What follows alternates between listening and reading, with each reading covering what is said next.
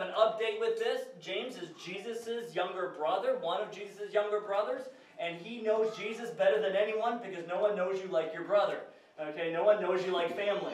So when James calls Jesus God, which he does in chapter 2, verse 1, it means that he knows all the potential dark secrets in Jesus' life, and he knows Jesus is God. Okay, he knows that. Any one of us, if we were to say, if we were to see on Facebook that someone were to update their status and says, Hi, I'm God, we'd be like, Yeah, no. That's not happening. I know all your dark little secrets. Satan, maybe. God, no. Not happening.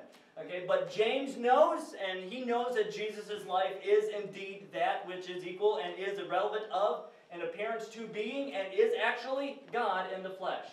So that's what. So he is now writing to the church. He's a pastor in Jerusalem at this point. Uh, Peter was the pastor first. James has taken over. Peter has stepped down. So now James is writing out to the people. It's one of the. It is probably the first book of the New Testament written, even before the Gospels, as far as timeline goes. So James wrote around 50 AD, and now he is saying, "Hey, church, you need to get your act together. You need to figure this out. You're you're becoming academically smart, but behaviorally you're stupid, and you got to change this. Your actions have to match what's in your head." Okay, actions matching academia.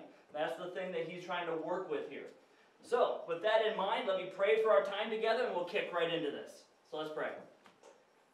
Heavenly Father, Lord, it is an honor and a privilege to be able to devote this time aside to singing praises to your name and also studying your word. And Lord, we have to learn your word. And so we're so thankful that you have had it translated in a language we can understand well. And we are so thankful that you have given it to us even in written form so that we can meditate on it. We can read it over and over again. And so, Lord, I ask that as we do so this morning, may we leave here with more than just academics.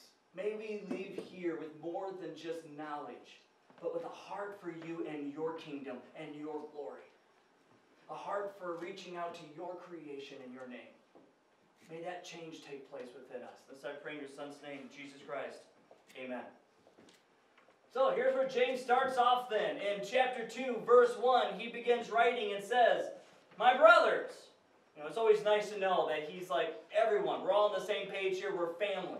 Okay? So, my brothers, do not show favoritism as you hold on to the faith in our glorious Lord Jesus Christ. For example, a man comes into your meeting wearing a gold ring and dressed in fine clothes, and a poor man dressed in dirty clothes also comes in.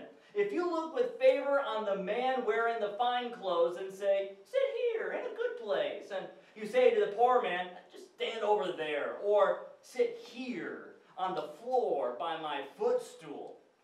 Haven't you discriminated among yourselves and become judges with evil thoughts?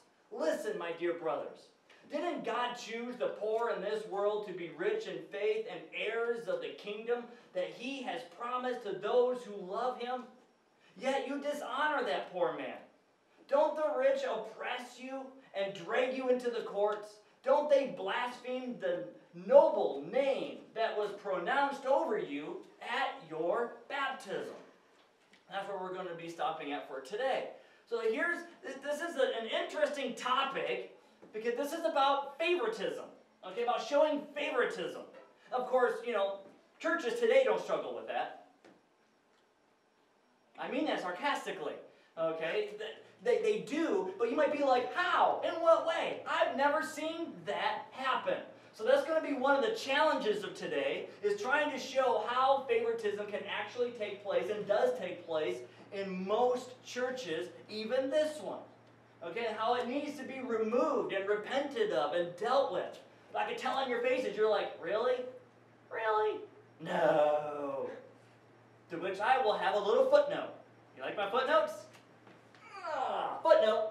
Yes. Okay, that's what's going to be happening. Okay, it is, it is there. So here, we need to start on the same page. Favoritism. The way that is defined from the Greek word that is used simply means this the unfair treatment of a person or group in preference to another. Isn't that a simple definition, right? The unfair treatment of a person or group in preference to another. Almost sounds like prejudice, doesn't it? As you prefer an ethnic race or people group to another type of a deal.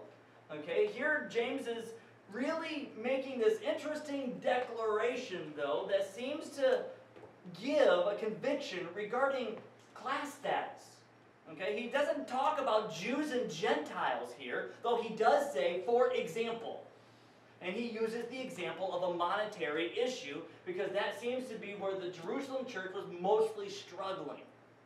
Okay, which is interesting because later in the New Testament, a lot of them deal with Jew Gentile issues. But that doesn't seem to be what James is noticing at this point in the church's history. That the prejudice or the favoritism is taking place is about financial issues. And so what James is wanting is to say he wants to see real, personal, absolute change regarding this issue of favoritism. But what I have to do is, I'm going to have to try to make this, which is like almost 2,000 years old, and make it relevant to today. So I need to set the stage on this for us, okay? I need to set the stage here. So I need to ask you a question for you to think in your mind and just think back across your life. What is the best seat you have ever enjoyed? Okay, just think back. What event, what trip, whatever you attended, and you had the best seat you could you've ever enjoyed. Even if it wasn't the best seat possible, it was the best seat you personally have ever enjoyed. Maybe it was toward the front of the, of the bleachers, right behind home plate at a Tiger game. Maybe it was front row center at a Broadway event. Maybe it was a really great uh, stage seating over at a concert. Whatever the case may be. Just think back. What is the best seat you have ever enjoyed? Now, a couple of weeks ago, Rachel and I had an opportunity that we were looking at something, some event, and we wanted good seats. Okay, we wanted the seats that maybe you're thinking about in your head right now. Really good seats, or maybe even better. Okay, because here's what was coming to town at Van Andel Arena. It was WWE. Okay, June 17th. Right? I'm like, yeah, baby, I want good seats. Okay, I want to be right up there toward the front and I want to watch Triple H knock someone in. I want to watch Big Show. I want to be able to hear that chest slap. I want to be able to see the sweat fly off. That's what I'm wanting, okay? That's what my wife and I, we're both like, yeah. Or maybe, because here's the seating chart, maybe we could even sit right by the area here where they come marching down the aisle with that rockin' theme song and the pyrotechnics go up so much that we'll leave with a tan. That's what we're hoping for, right? Some really awesome seats right there. That's what we wanted. Now, let's go back to the web page to buy tickets here. I want you to see something on this. I'm going to zoom this in just a little bit here for you, just so that we can kind of see. It's kind of hard to see because of how the font is. Man, that step does not like me. But if you look down here, the best seats in the house cost $97.50 each. That's before taxes, before fees, before handling issues, before the arena costs, everything else gets added to it. Makes it, you know, 100 plus dollars quickly, okay? Plus you got Ticketmaster fees on top of that as well. And then it goes all the way down to 52.50, 37.50, all the way to the end here. And at the end it says 17.50. Any guesses at all at where the $100 seats are and where the $20 seats are? Any guesses? I'm to tell you. The yellow section right here by the ring, those were the 97.50 plus everything else added to it, $100, $120 tickets. They were right there in the yellow. The $20 tickets, what I could afford. Guess where they were? They were in the nosebleed, I can't see without my opera glasses section, way up here in the purple. Okay, and just to kind of give you a little idea of how small that stinking little ring is, Okay, here's a shot from the marchway of the ring from June 17th here at the Van Andel Arena. You can't even see the $20 tickets because they're in the dark, way up back over here. You can't even see them, see where they're at. And that ring is so small, you could actually do the I squish your ring with your thumb and fingers, okay? You can actually just kind of, it's the size of my, oh, I can't see the ring. Okay, that's how small it is. All right, that, that's where it's at. Now, here's what's interesting. So, $100 for down here, $20 where I might as well see it on TV for free and get the best seats in the house that way. Okay, that's, that's kind of how it is. Now, here's what's interesting. Nobody was outside the Van Andel Arena picketing over class discrimination. Nobody was out there saying, You're unfair in your pricing. Only the wealthy can afford your good seats. You're unfair in your pricing. You cater to the rich and you take advantage of the poor because they can't afford the good seats. Why is it only the rich get the good seats? Same thing at airlines. You don't see people picketing at airlines either. Why is first class so expensive? Only the wealthy get first class. Why is it only executives get business class? Why is it that only the poor people can afford economy class, but you can't even lean your seats back right? You know, and they start, no one's picketing. No one goes to concerts and pickets there either. We just kind of deal with it, right? We just kind of deal with it. We just, uh, my wife and I, we looked at this and we're like, okay, what seats are available? Well, there wasn't anything here. There wasn't anything in these areas. There was some purple available, and there was yellow available way off over here. And we're like, you know, yes, we'll be able to see the people come down a little bit, and yes, we'll get suntan from the pyrotechnics happening right around here at the entrance and see a lot of the cool video stuff, but $100 a ticket? It's going to cost us 200 plus dollars just to go. We don't have that kind of money. At the same time, I don't want to pay 20 bucks for something I can't see. I'll just watch it on TV. Okay, that, that's you know, I'm going to get the app. I'm going to watch it there. I'll watch it on, on video on demand. Something. I'm going to watch it differently. And I didn't go and say, man, this is unfair. Why do they make the prices only for the rich to go? Why do they do it that only the pastors of bigger churches can go? And et cetera, et cetera. I didn't complain. Instead, I praise God. Thank you, Lord, for television and apps. you know, thank you, Lord, for that. Thank you, Lord, for friends who buy the pay-per-view and I can go to their house. Thank you, Lord, for you know that right. Yep. There's one tonight, Money in the Bank, and I'm looking forward to someone else paying for it, and I'm going to their house. And so I'm just like, thank you, Lord, for that. But I don't pick it. I don't get mad about discrimination. Okay, so that's just kind of how that is. Now, I want you to think about what if churches did that though? What if this church decided to say, we're going to go ahead and charge for the seats, and the best seats in the house get the highest cover charge? For example, the front row and the back row. Those would be the most expensive seats to get. And then everything in the middle would be significantly cheaper. So maybe you'd have to pay like $15 for the front row, $15 for the back row, and then like $3 for the rest of the seats. Okay, you know what? Our tithes would go way up, right? Our attendance might go way down. what would that be like though if we did that? Would people say, this is ridiculous, this is unfair, how dare you do that? Uh, people would do that. Some of you, I know, would do that. You'd be like, no, why are you charging for seats? Why are you selling tickets to your church event? What's wrong with you? And if the news got a hold of that, this church charges for seat admissions for their sermons and blah, blah, blah. You know, they might end up making a big story about it. The IRS might get wind of it, start calling it a profit organization rather than a nonprofit organization. And a whole big mess could just fall upon us if we did that. Isn't that hypocritical? Because you didn't care that concerts did it. You don't care that planes do it. You don't care that, you know, shows and theaters do it like that. You know, the Broadway plays. But we do seem to care that churches do it. And isn't that, is that hypocritical? Is that like a double standard?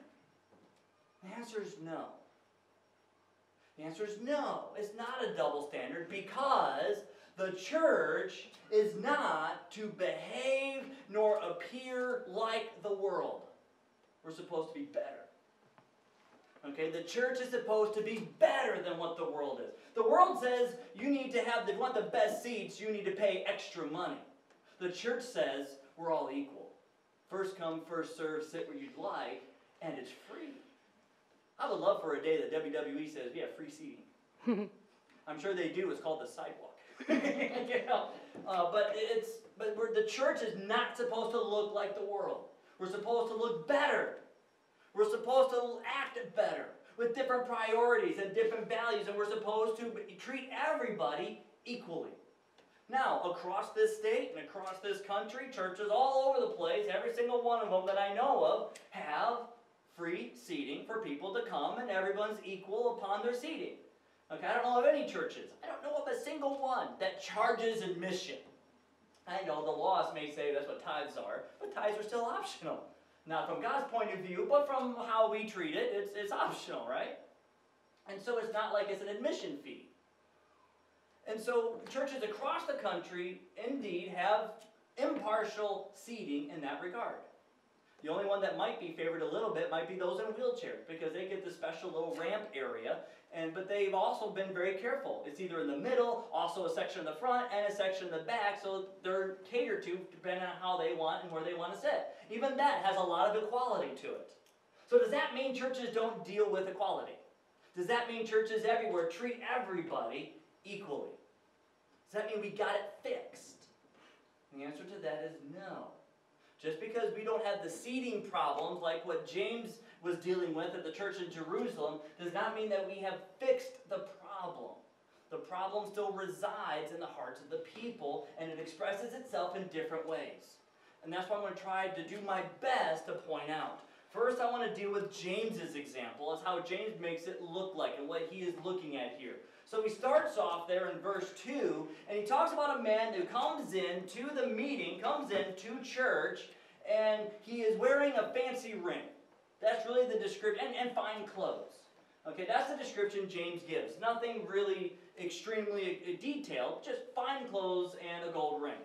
What that would look like for us today would be that maybe a guy comes in, he's in an Armani suit, or a girl comes in, she's in a Valentino dress, and they have really shiny shoes. Their aftershave or perfume is just astounding, and they're they got maybe a nice watch and fancy rings. They're clean cut. Everything is just oh, professional, almost Hollywood-esque. Okay, so that person walks into the room. And here's another way that that begins to express itself really in our churches of today. Because so many people, even people who are poor, dress nice for church. They find something that works, and it's hard to distinguish. So we tend to do it by jobs. You know, oh, you're, you're a surgeon. Oh, oh, you're a partner at a big law firm. Or, oh, I see, you're a, and we hear their job, and we automatically equate that with business success, high income. We're glad you're here. We hope you tithe. Okay, that, that's really kind of the thing. And we want to cater to them to the best of our ability because we don't want to turn them off to services lest they leave and don't tithe. So we would love for them to be a committed tithing family here because that would really fix our budget. Okay, so that, that, that's one way that that begins to look. And then James says a poor person walks in, and the uh, poor person is dressed differently. They're not necessarily in Armani suits or Valentino dresses. Maybe they're wearing jeans and a t-shirt. Uh, maybe they got shoes that are well worn and they uh, are, are coming in and we find out their job is at Family Fare or some retail. And so we know that, okay, you're not making buku bucks, not compared to the lawyer that just came in. Okay, the guy from Varnum, he's making a hundred thousand a year, but your Family Fare, you're doing what? Maybe eight, nine dollars an hour? And so you're, you're really not on the same level. Okay, so that's automatically that distinction that James starts with. Then he offers to go from that to the treatment. If you say to the wealthy and you say to the poor, okay, it says to the wealthy, uh, sit over here and have a good place. Hi, welcome. We're so glad you're here. Uh, and, you know, and we're like, yes, come on over here, and here's a good spot for you. We calibrate our sound here, okay? so you want to sit here and everything is going to be available for you here. And then the poor guy comes in, and maybe he's even ignored. And what James says is that you tell him to stand over there. In other words, out of the way, where we can't see you, you're not blocking our view, and we can't smell you. Okay, so the poor person is brought someplace else, and James also uses the phrase, sit here on the floor by my footstool, which means I am going to look upon you with condemnation judgment. Because anyone that is put on or beside or under the footstool of the Lord are where the enemies go. Because they are under his judgment. So when James uses this phrase for the people in the church, it's in other words, we say, oh, look, a wealthy person. Well, I look up to you. I have automatically, by default, a good thoughts about you. And then a poor person comes in, and you're automatically now under my judgment. You're automatically, my default position is, well, why don't you go and get a real job? I bet you dropped out of college. I bet you made some bad mistakes. I bet you have some habits and some addictions to sucking up all your money, especially if they're homeless. We automatically default with something's wrong with you. That's our default point of view. Okay, now by even talking about this, we might start thinking, uh, okay, I, I, maybe now it's getting a little bit tight. Especially if we start driving downtown and we see people in suits and people sitting on the street with holes in their jeans and no shoes, and we say, okay, the guy in the suit's got a job, the other guy's lazy and is a bum. Okay, automatically we got positive, negative connotations of favoritism right from the default start. Okay, that's kind of right where we're at. And so here's how this can, can really be also express itself. When we see somebody and they drive up, and the doctor drives up in a Bentley. Right? And we look at that and we go, ooh, a Bentley! Convertible. Nice. You know, and then the uh, poor guy pulls up and he has a rusty Chevrolet. You know what I'm talking about, right? Rust and smoke, my heater's broke, the door just blew away. I light a match to see the dash, and then I start to pray. Frame is bent, the muffler went, radio, it's okay. Oh, what fun it is to ride this rusty Chevrolet. You know what I'm talking about, right? And so we see them pull up, and we tell everybody in advance. Someone pulled up in an entourage. Oh my gosh. Or, uh-oh, we just got our whole parking lot filled with blue smoke. okay, we're going to have to keep this in mind. Right? And we start with that type of default point of view. Now, here's the problem is that so many people don't think that that type of view is happening in the church today because they want to deceive themselves. Paul, uh, James talked last week about how people self-deceive. Okay, how they want to deceive themselves and say they don't struggle, they don't fall, or if they have problems, they admit they have problems, but they don't make any differences, any changes in their life. So they just accept that they have problems and move on because after all, who's perfect? I can justify it with we're all dirty, so why try to clean up? Okay, why, do, why, why try to do anything different? And so people can deceive themselves on thinking they don't do favoritism.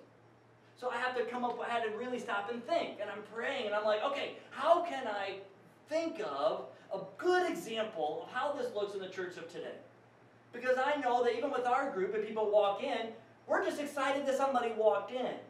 Okay, we don't care if they got a suit or a t-shirt, we're just happy another seat is filled.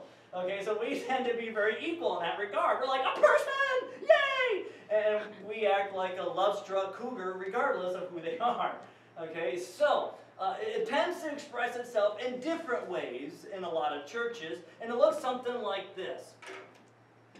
The people with the wealth, the people with the highest income of the church, hold the positions of leadership. The people with the lowest incomes do not. Isn't that interesting? All across the churches, you can look, you can see all the people. If there is a poor person on a committee, they're not the chair. They're just kind of like that servant person. Okay, and they're looked down upon. They aren't given the chair position. They're not put on leadership position. They tend to be people who have really good income. In fact, if somebody comes in the church that's wealthy, someone comes into the church that's poor, and there's a position that's available for service, who usually will end up with that job if they both want it? Odds are the wealthy person. The person with the better job gets that position of leadership. That tends to be what happens. If a wealthy person comes in, and even if they're not in competition for a job with a poor person, they are made a position for them so they don't leave, so they have a position of leadership. And what's not asked is, is it possible that that wealthy person is not spiritually mature enough to handle a leadership position? And if that's the case, they're not told that. They're just given a position anyways, because we want to make them happy we don't want their tithe to go because they have high income. Okay, but we don't tell them, well, you're not really, you need to be more spiritually mature. But somehow, if they have a good job, we equate that with they're intelligent, they're competent, and they're spiritually mature because they've been blessed with such a good job. But haven't you ever worked for somebody that made more money than you, that was less intelligent than you? Some of us, I'm sure, have worked in jobs like that. Okay? Um, at the bus station, I don't say that because my mom's my employer. but it's but that's what happens though. Or if someone is a really good teacher in a school or a professor at a college, automatically what people default to is they need to be a Sunday school teacher. They never stop to ask or to consider that just because someone's a good teacher does not mean they're a good teacher of the word. Just because they're knowledgeable for a topic they teach at a college does not mean they understand the Bible with any type of theological depth to be a teacher there. And it could be that someone who's a good teacher is not a good teacher of the Bible. And we need to get somebody who's not a teacher to teach the Bible because they're better at teaching the Word. The two are very different. Okay, teaching the Word of God is different than being just a teacher of English or of psychology or whatever. Okay, you need to be a good teacher of the Word. And there are some people that have good jobs, they're a professor, they make good money, and they lack spiritual depth. And they might be a baby Christian. And it's just too early for them to be put into that type of a position at this point in time. They need to go around the block a few times before they get put in any type of a leadership position, unless they become conceited, as Paul has said in several of his letters. Okay, so it, it's those are things that tend not to be brought to the surface. That's where favoritism tends to lie. One more example, just for fun, just for gathered here together. I don't have my watch, so we got time. okay, one more quick example. Let's say that you're at a, you're walking down like by a store and you see a guy and he has a really nice suit, good haircut, and what looks to be a homeless person in an argument. Who tends to be sided with? The wealthy person. On average, whenever I see, even at the bus station, a, a, homeless person start shouting out, shouting out, this, you took my money, and a guy in a suit says, I did not, it was my money, you're just trying to get it from me, people are going to tend to side with the guy with the suit. I have watched it happen day in, day out, multiple times, even by security. I have watched them favor the nicer dressed people to the lower dressed people. Okay, that's just what happened. Now, could it be that the homeless person is telling the truth and the rich person took money from them? Is that possible? Yeah, it's possible. But we start thinking to ourselves, why would they? They got enough. Maybe that's how they got it. you never know. It's just one of those things that we tend to want to defend the rich person and put fault upon the poor person right from the get go. So we tend to do. Or we tend to favor women over men, especially if the woman is crying. And we don't tend to realize that not every crying woman is the victim. Sometimes women use tears as a form of manipulation and get away with junk. And that happens. I've seen that a dozen times. Okay, so we tend to have favoritism that is all over the place within our churches and across society. As much as we want to say we don't, we do. And we'll certainly do. It is there. It's in our hearts. It's that default thought that comes in our minds. It's, it's there. It is very much pre- uh, present. And here's the funny thing. Here's the kicker. When James talks about a poor person, he is not referring to a person who is poor because of addictions, because of sin, because of whatever. that is not the poor person he's talking about, because the poor person in the passage that, he, that we read, that poor person also has an inheritance of what? God's kingdom. Which means they're not the unrighteous, ungodly poor. These are the righteous, godly poor that James is referring to in this passage. These the people who have been, uh, they, they had something, they got maybe they got taken advantage of by somebody who is wealthy. Maybe they got laid off in order to give higher bonuses to the executives. And because they got laid off, they couldn't make their mortgage payment. So the house got repossessed. Now they're homeless, trying to figure out how to get their life reinvented. And then we look upon, and that's, and we look upon them and we say, man, you deserve what you got. You're the one at fault. And we look down upon them. And James is like, do you not realize that there are the difference between the godly wealthy and the ungodly wealthy and the godly poor and the ungodly poor. The goal is not about wealthy or poor. The goal is about godliness. The goal is about righteousness. The goal is about bringing people who don't have righteousness, their righteousness is like filthy rags, and bring them to Jesus so Jesus can say, Here, wear my clothes and be righteous because of me. And watch Jesus put his cleanliness upon them, and then they're the godly poor. And they can start working toward that maturity. That's James's focus here. Okay, that's what he's uh, talking about. And so when he says, hey, this poor person, he's talking about people that are considered poor by the world's estimation, but not poor by God's estimation. Okay, they have an inheritance of extreme wealth, they just haven't got it yet. It's called the kingdom of God, and it's a coming. Okay, so that's what James is also referring to here in this passage. And here's where we can also end up pendulum swinging the wrong direction. if we've been having this idea and realize, man, I have been favoring the wealthy. You're right. I do. I am guilty of some of those thoughts and some of those defaults and some of those positions and biases. You're right. I need to start focusing on the poor people. no, no. That's the sin of the other side of the same coin. Because now you're showing favoritism the other direction. The goal is you don't put any above each other, but that they're both viewed the same. So don't focus on the rich, don't focus on the poor, you focus on people regardless of their status, regardless of their class, etc., etc. And here's where James puts his, um, and that's that easy mistake that we can make. But here's where James puts the basis for equality on. This is the fascinating part. James's basis for equality is in chapter 2, verse 1. It is what? The Lord Jesus Christ. Okay, that's the basis for equality. You have no business doing favoritism if you claim to have faith in the Lord Jesus Christ. Okay, Here, here's just a truth. I'm going to say it, and you're going to maybe want to get pushback. If not you, the people online later are going to send me emails. So it's just going to be fun. So I need to remind myself to change my email to our head deacon uh, for the next week. So if anyone wants to complain, it goes to him. so that's just, uh, here's the truth. Christianity is the only religion in the world with a true basis for equality. Everybody else are hypocrites.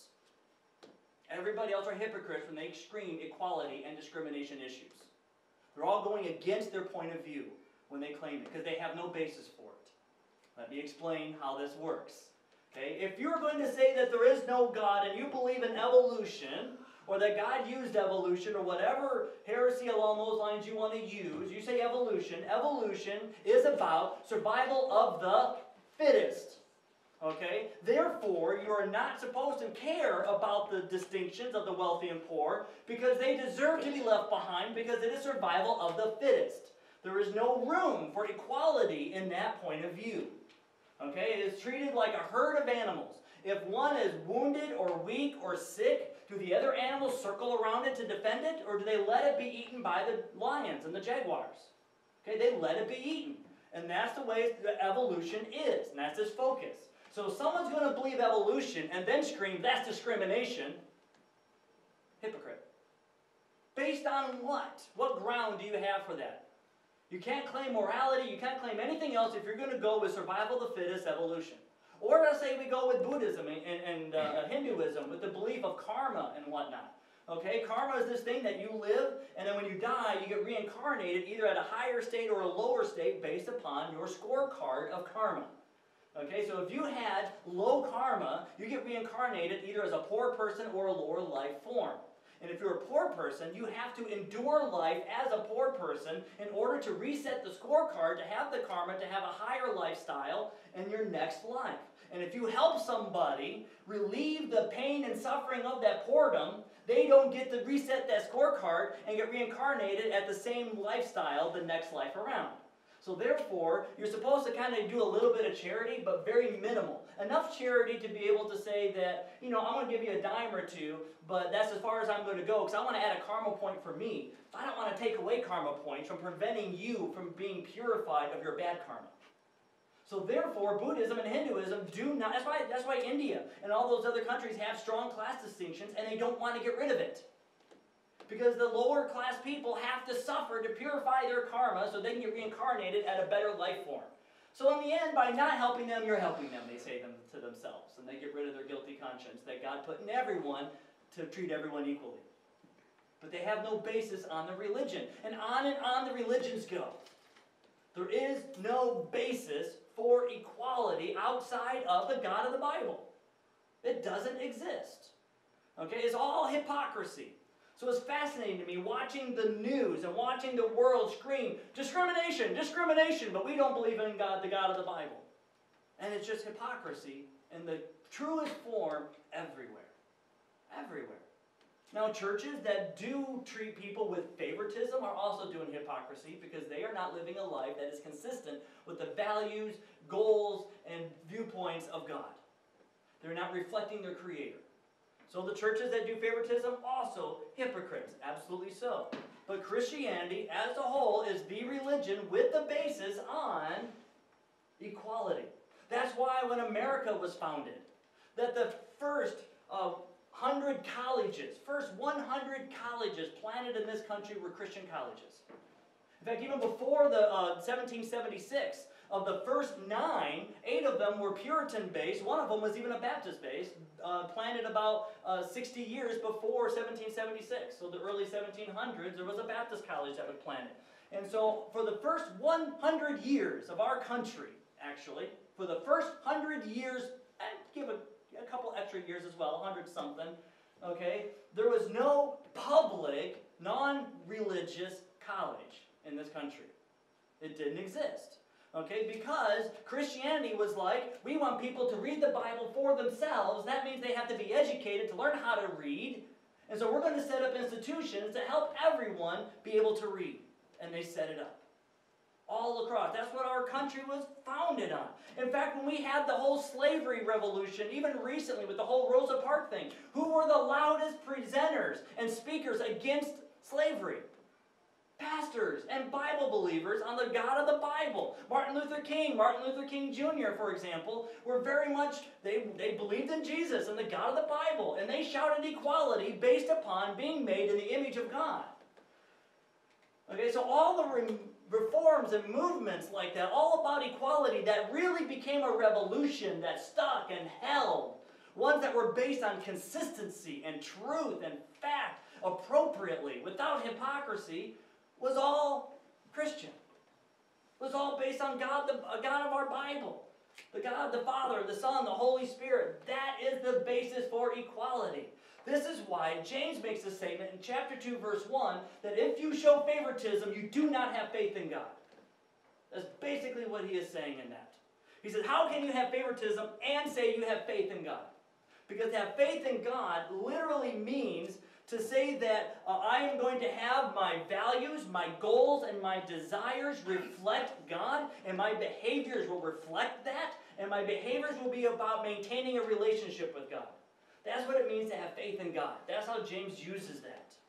And if you're going to show favoritism, if you're going to be that way, then you're not having faith in God, because that is not how God rolls. That's not how God does that. In fact, all throughout Scripture, we have this position. Romans 2.11, God shows no favoritism. Job 34.19, God shows no partiality to princes and does not favor the rich over the poor, for they are all the work of his hands. Leviticus 19.15, do not show partiality to the poor or favoritism to the great. In other words, don't even put the poor over the great. Keep them equal, equality there. As well as James 2.1 that we've already talked about. Because here's what favoritism is all about. If we want to put favoritism and prejudice and all that into one category, it's all about one word glory. Favoritism is all about glory. Okay, we want to be up front. We want to be special. We want to be on top. We want to be number one. Yeah, I've never seen a basketball team saying, woohoo, we're hoping for number three. You know, never have I seen the Tigers go, oh, we're hoping to come in second place this year. You know, now the Lions might say that, but but you know, normally teams are all like, we want to be number one. Okay, that's what we that's what they're after. That's what they're rooting for. They want to be on top. They want to show forth their glory.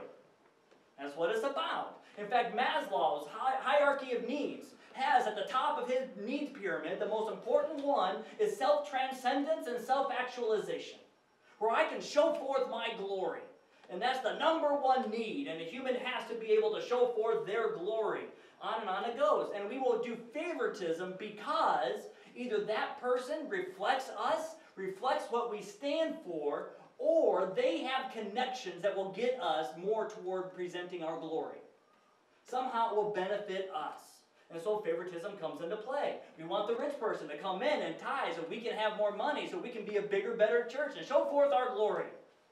We want to be able to have that to have that connection and that influence so that they can pull strings on our behalf so we can move up our ladder and show forth our glory.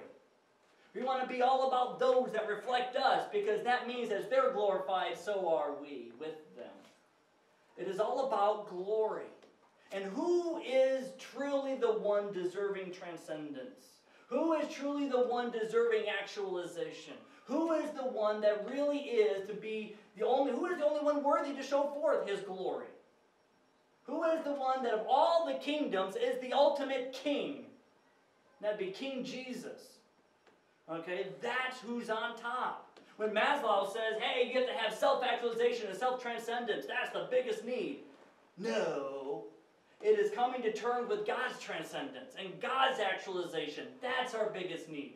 That needs to be the top of the pyramid. Maslow has the whole thing turning into ourselves, and we need to turn it toward God, not into ourselves. So he's got his whole need based scale completely wrong. The whole pyramid's screwed up. It's all about selfishness and favoritism. It is not about the kingdom of God. So when we are about, we need to be about God's glory. And when we are about God's glory, when we are about His kingdom instead of our kingdom, then we will find that we have no place for partiality. We have no place for favoritism because we recognize that we are just as messed up as everyone else. Even if they make more, even if they make less, we're just as messed up as they are. When I see a homeless person at the bus station, I tell you, the bus station has been one of the best jobs for me and one of the hardest jobs for me. It has been because I am surrounded by people more poor than me. I am surrounded by people who are homeless, and I have to look upon them and I have to see them as equal with me. And sometimes I struggle with that. Let me just bear that out to you. Sometimes I struggle with that. I want to look upon them and say, You've made a whole bunch of mistakes. You've made, I want to put judgment on when I don't know what their condition is. I don't know what the situation is. Some of them are mentally ill and they can't get a job because they just mentally can't do it. And I have to reach out with love and compassion to them. I have to recognize that they need Jesus as much as I, and neither one of us are better than the other, regardless of income, regardless of living arrangements, regardless of anything.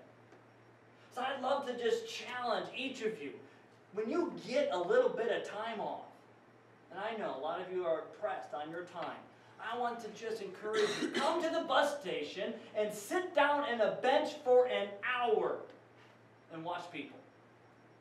Just sit there for one hour and watch people. Just see them.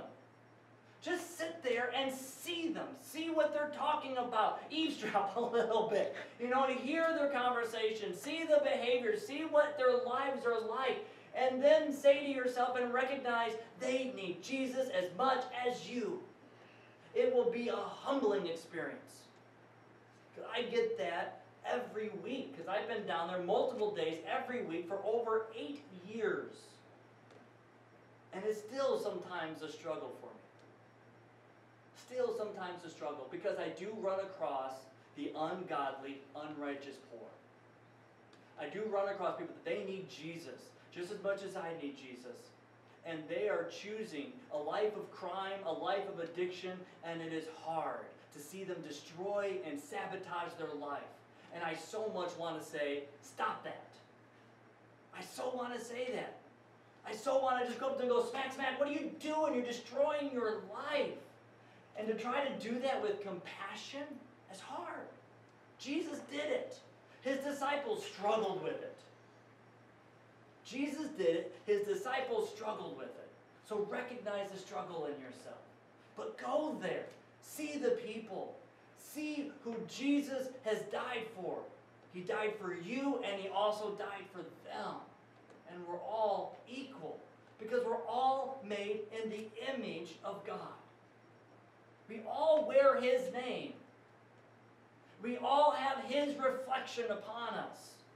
Regardless of the color, regardless of the status, regardless of the income, regardless of the clothes, and regardless of the odor and hygiene issues. We are all in the image of God. Will you go to where the broken and the hurting are and see them face to face? And just maybe, just maybe, extend out that hand of prayer and compassion and welcome and friendship to them. Because we all need it. We all need Jesus. We all have that need for that? Will you do that one simple assignment this week?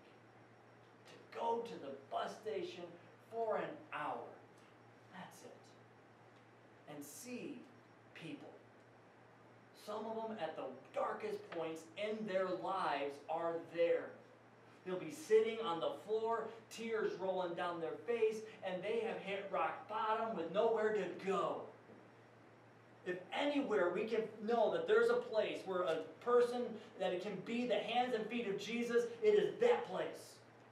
That we can go and sit down next to them and pray with them, talk with them, love on them. That's the place. There's other places across the city. I'm not going to go to all the places. You can go to Mel Trotter. You can go to Shepherds of Independence. You can go to Dégagé. You can. There's lots of places. I'm just telling you, just go to the bus station, just for an hour. Go somewhere and see people. And see what it takes to be the church there. Not in the safety of these four walls. The church there. Let's